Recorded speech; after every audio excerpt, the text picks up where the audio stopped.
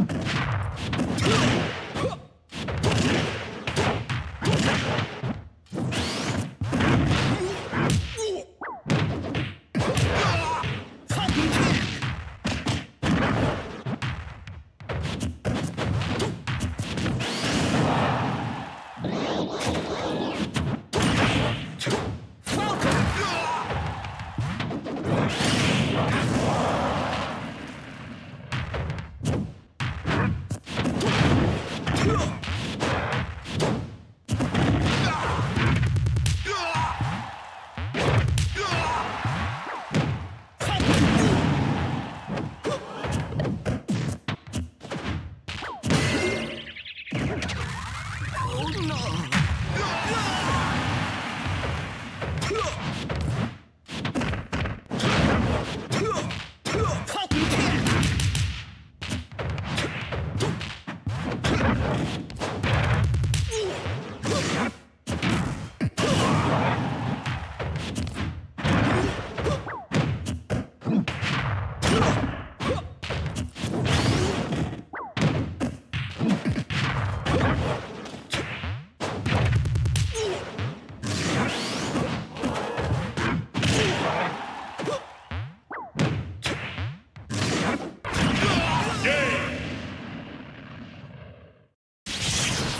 The winner is King DDD.